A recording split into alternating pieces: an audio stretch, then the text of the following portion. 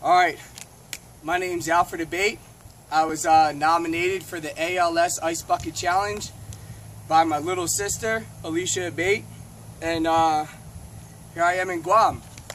I nominate uh, my beautiful mother, Lisa Vitale Hitchens, uh, Brian Fox, Sarah Severed, and uh, Tyler Knopfschneider. Here we go.